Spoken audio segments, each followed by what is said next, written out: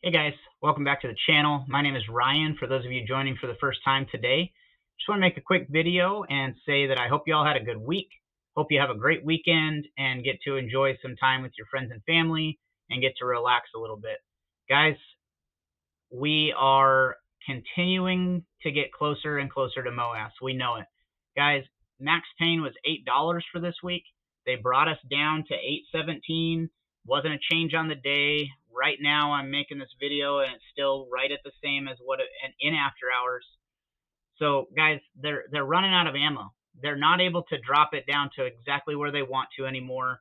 In the past, when Max Pain was at seven, you know, 750 like last week, um, you know, they're able to drop it down within a few pennies. So guys, keep it up, keep up the good work, and let's keep this going.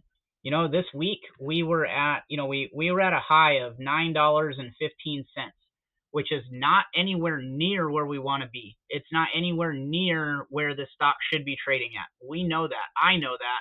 What I'm saying is it's it's nice to see it go up a couple dollars.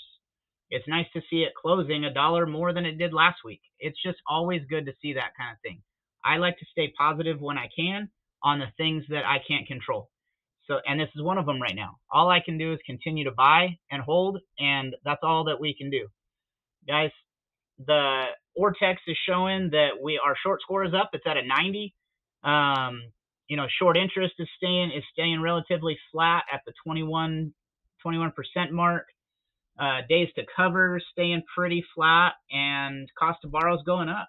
So, guys, we got this. We know where this is going, and there's nothing we need to worry about.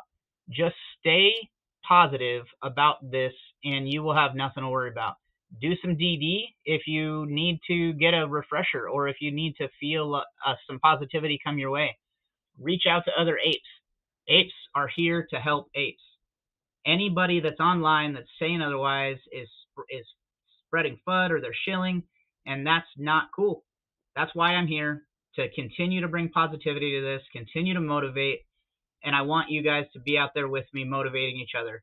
Guys, have a great weekend. See you soon.